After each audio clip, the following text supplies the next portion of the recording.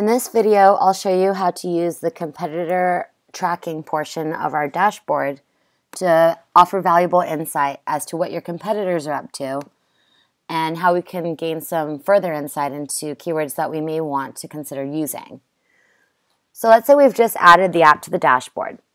You'll want to first go to the competitor analysis section on the left-hand column here and go to the competitor tracking subdivision of that. What first comes up is a list of probable competitors. This is everyone within your category. So we can scroll down until we find someone we're interested in. In this case, we'll say Lyft. Here we can begin tracking. And once we've begun, we've begun to track, we can look at competitor insight for that particular app. Here we can see the overall rating of that app, their weekly download estimates, as well as their visibility score, which is an aggregate of each keyword that they're using and how visible they are in the App Store as a whole.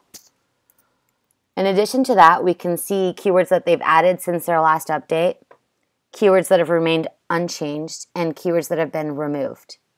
Additionally, we can see probable competitors of that competitor.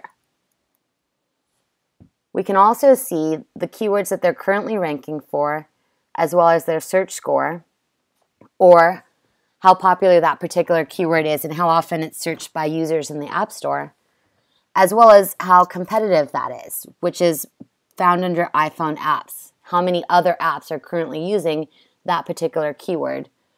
Um, so we're going to want to strike a balance, of course, between search score and iPhone apps so that we can find something popular but not too competitive.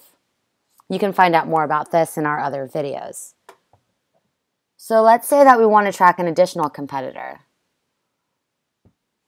We can also search a custom competitor that doesn't exist in our list. Let's say Sidecar in this instance search sidecar, and begin tracking. So now we're tracking both sidecar and Lyft. If we go to competitor insight, we can see Lyft. We can also see sidecar.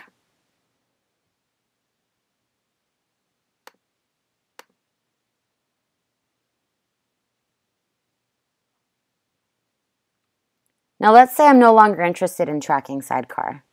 I can delete that app here and go back to my competitor tracking and begin tracking another competitor, someone else within my category. So from here, the options are up to you. And I welcome you to watch more of our videos and find out more about how our dashboard can help you optimize your keywords. Thank you.